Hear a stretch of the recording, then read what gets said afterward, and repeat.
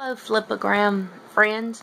I wanted to add a note on here that um, not all the songs that are posted on here for us to use can be used on YouTube. They just deleted a song off of my video that I did that I titled Me and My Art.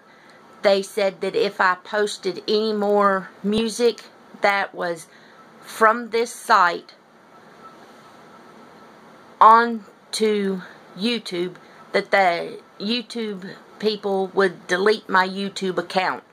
So make sure that um, some shape, form, or fashion you have permission to use all the music that is posted to uh, Flipagram because YouTube just told me in email that if I use music again that is not given permission for me to use that my account will be deleted.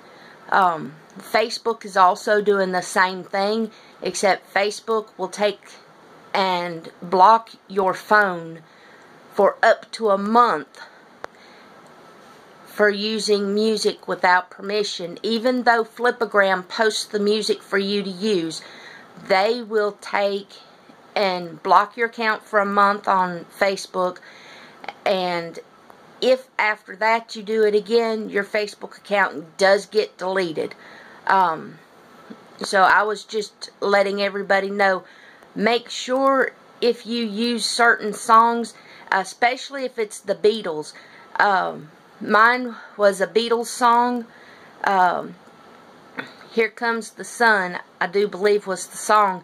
Uh, you have to have permission to use that on Facebook in even though you do your video on Flipagram.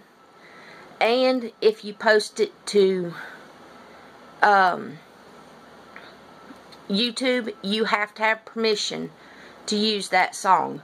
Uh, so please uh, make sure that if it's if it's a certain certain songs make sure you're allowed to post that because they are telling people your account will be deleted.